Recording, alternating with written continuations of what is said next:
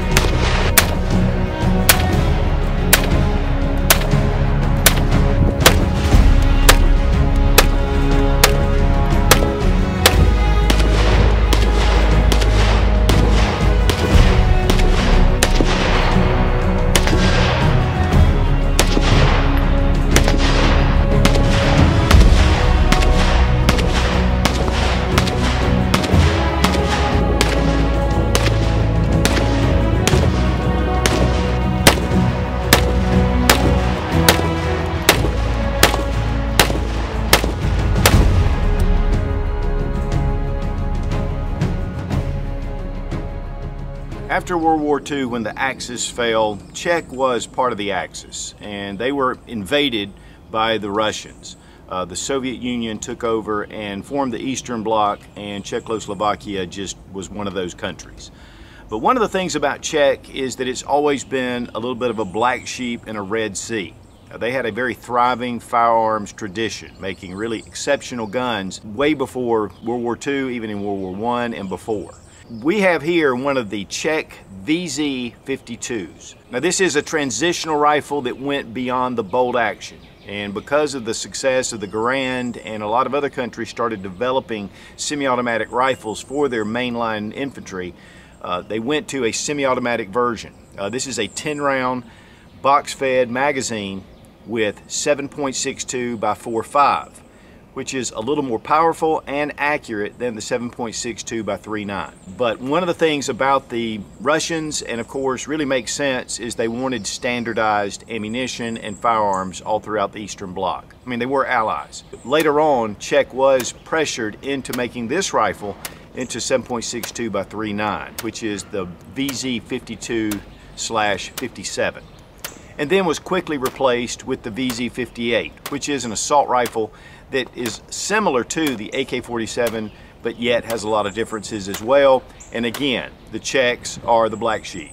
Now these have gotten fairly hard to find even though according to my sources over 1 million of these were made. All except the first 5,000 were actually made by CZ, but this is still called the VZ52.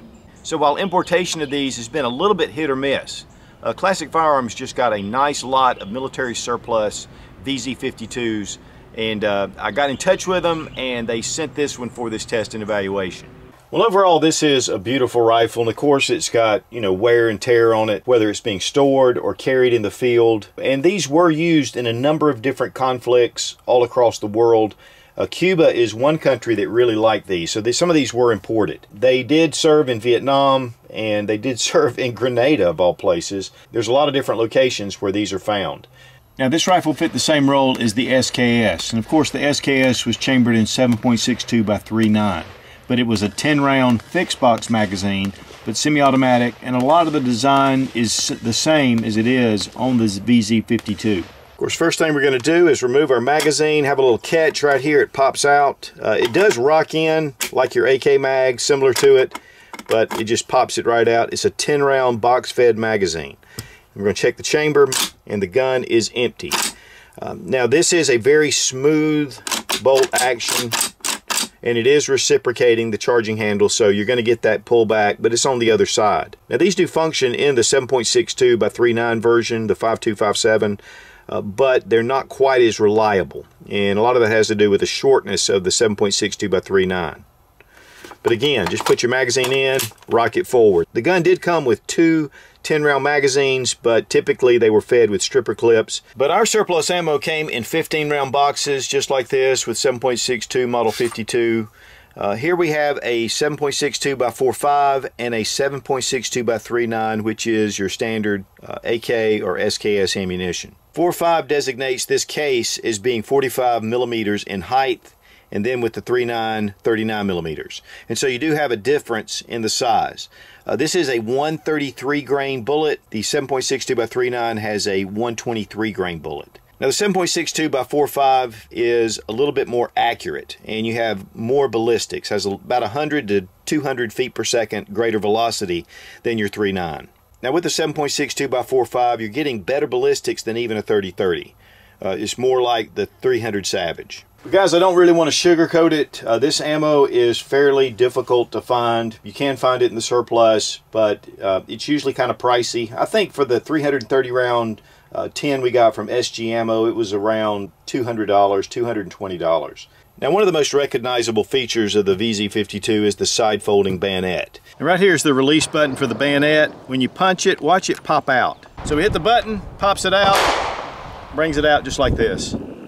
When you're ready to bring it back in, hit the button, there it goes. As you can see, it is a very thin bayonet, but that allows it to kind of be out of the way when it's on the side of your rifle. It's a 21 and a half inch barrel. They didn't start chrome lining them until later, so a lot of the corrosive ammo, you're going to need to make sure that you clean this uh, to take care of that corrosive ammo. It does have a nice heat shield right here that's all steel. The front sight has a post. Typically there was a hood that went over this, but this one doesn't have it. And then we have a threaded barrel. And so it's kind of funny because it is right-hand threads. This is probably designed for, you know, a grenade launcher or some kind of blank firing device. Has a graduated rear sight, goes from 100 meters all the way out to 1,000 meters. Have a sling loop here at the front and also here at the rear. The trigger guard is a little reminiscent of the Garand because of the safety. So you can just push that safety out of the way. Then the trigger action, a little bit of a wall right here, and a nice clean break.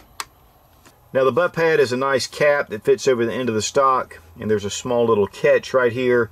Uh, some you can depress. For us, we're going to have to use a screwdriver, and you can just pull that off. Uh, it does have a small little detent at the bottom that holds in the bottom. And here in the bottom you have a place for a cleaning kit and this is also a metal cap. So this is going to protect the butt stock. Take the butt cap, put it on the bottom first, rock it in, and just snap it into place. Number and a proof mark, and then we have 53, which means this rifle was made in 1953, and then we have serial numbers.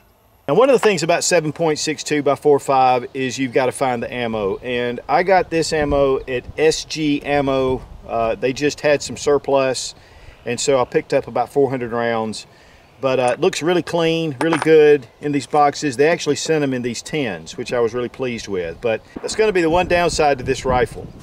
Now the box magazine holds 10 rounds so you can just load it right in like any other magazine.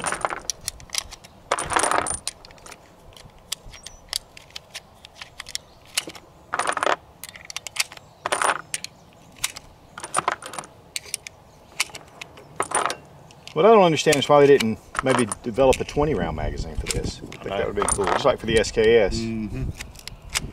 So we have 10 rounds. So we have our latch right here, just bring it down, it unlocks it. Uh, when you're gonna put it back in, you kind of rock it in, just like that. Uh, to me, much smoother than the AK, definitely better than the SKS with that fixed box magazine. Charging handle right here, just bring it to the rear, feeds around right into the chamber. Man, that was really smooth. Now one unique feature about the VZ52 is you have the forward left ejecting. Uh, and this is really different from what you're seeing with most rifles. In fact, I've never seen that.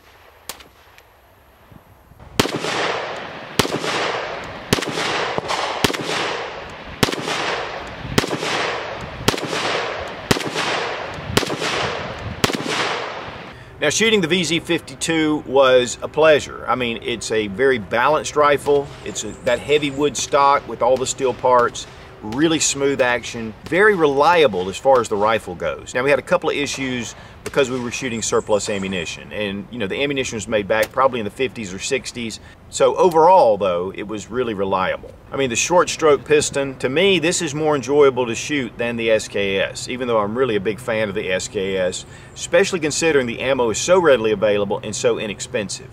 Uh, but to me, this just goes a step above. I mean, the quality is just a lot better as far as the finish and the metal parts. We really had a lot of fun shooting. Now, one thing that really surprised us was the accuracy, uh, even with iron sights. Now, we were just shooting at 50 yards because, you know, with iron sights, we didn't want to go all over the paper. But um, Robbie Wheaton really put a solid group using these iron sights.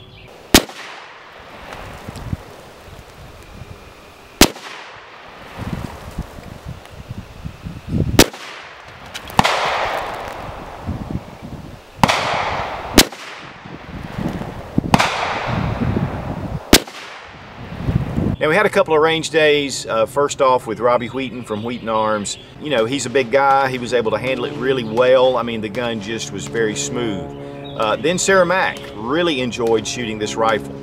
And uh, she's not quite as experienced, but was able to handle the recoil. In fact, really enjoyed it. The second day I went down with one of my buddies, Derek, uh, who happens to be a Patreon member. And we went out, did a lot of shooting with it. Just had a fun, relaxing day with this rifle. And to be honest with you, I just wanted to get it back out. Now being that really smooth action, just fits well on your shoulder, the balance is right, and uh, this makes for a very enjoyable day at the range, if you can find the ammo. Now the weight on this rifle was 9 pounds 1.6 ounces, so again, it's not a lightweight option, but definitely somewhat compact. Again, the balance is excellent. Um, these came in either a walnut or a beech stock, usually have some kind of yellow lamination or lacquer on them. Uh, you can find some that have a little bit of a green tint. There's a number of different ones. In fact, when I was looking at Classic, they had a lot of different variations with these stocks. A lot of times they'll come with an enamel base covering maybe the dust cover or especially here on the handguard. And so I think that was just to keep corrosion down. But a very iconic piece. Uh, the, the one big downside to this rifle is the ammo availability. I mean, it's hit or miss. Again, it is typically corrosive. Uh, it would be nice if a lot of these started coming in that maybe Prvi Partizan or Red Army Standard would make some ammo for these. That would be incredible. Uh, there are some conversion kits where you can have a sleeve you put inside the chamber uh, for 7.62 by 3.9, but it's typically using epoxy, and that could be an issue. Plus, your magazines really function the best with the 4.5 ammo. The barrel is press fit and pinned. It is a gas-operated tilting breech lock action. Now it does hold open on the last round fired uh, and there there is a magazine catch so you can drop the magazine and it's just a little knob right up under it. You just push it up if you want to just have the bolt open without the magazine in it. Then of course release and it goes home. And on either side of this handguard there is a release. You just press them at the same time you can pull this whole piece right off. Now if we bring the bolt back like this uh, you can see that this will actually, just a really short stroke piston. And so this just allowed for really smooth operation. You'll notice how just a little bit of movement right here would release that bolt. Now this is a steel cover over the piston and with the bolt back, just bring it back a little bit and then pull up and let it go forward.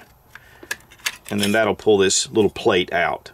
And then we're going to bring our kicker out and you can see it has a spring, pretty large spring right here and then it just goes back into place right there.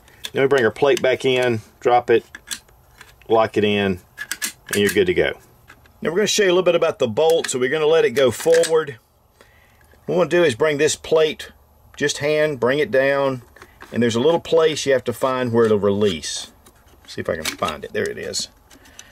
Lift it up, and I keep that spring. There's a big spring, recoil spring under tension. What we want to do is push it like this. well, maybe not like that. But it allows this to come out and you want to get it. It's just kind of captivated right here. And these little notches allow you to push it with your fingers. Short little guide rod, but putting this back, this spring can get kinked, so we're going to be careful doing that. Now there's a small catch uh, when you're pulling your bolt back that will release it and you have to kind of tilt it. I've been working on this for 20 minutes. I can't find it. Graham Baates did a review where he pulled his out. It seemed to be a little looser uh, the bolt fit. So um, you want to check his channel out if you really want to see how this thing comes out because guys, I am not able to find that little catch. But here underneath you can see the tilting design, how when it comes together it just locks up into place and then it drops down when you pull it out. Now your bolt assembly, there's a small hole. You just go ahead and put your uh, spring in there. It's going to bind somewhat, so you have to be really careful to, to get this just right.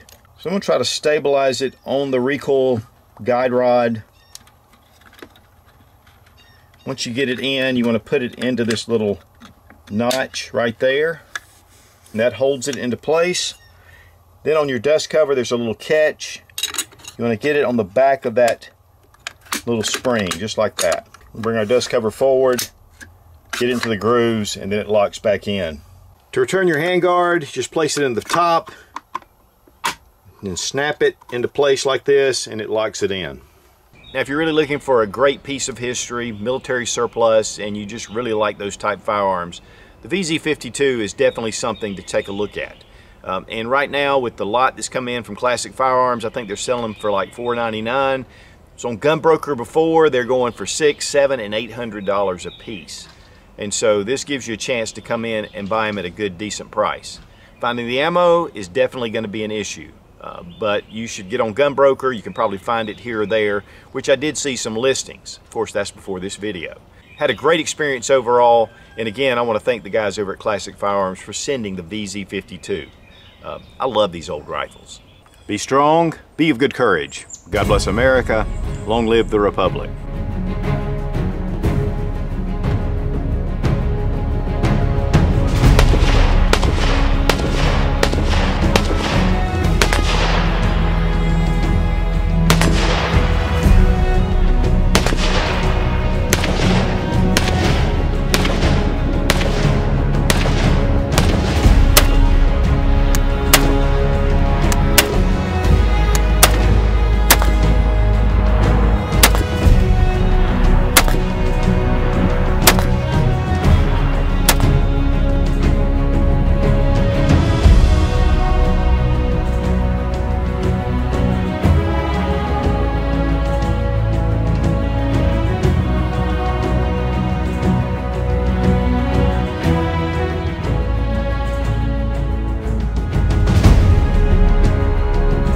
45 meters in height, and then the 39, 39 meters in height.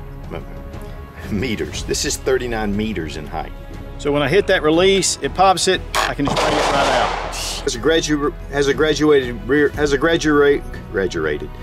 That is going to be the one downside. That's going to be the one downside. Having a good time. Just 762 by 39. No, feel like you're NASCAR or something with that shirt on. I am. I race cars. Ah! Ah, he's attacking! Die, rubber dummy!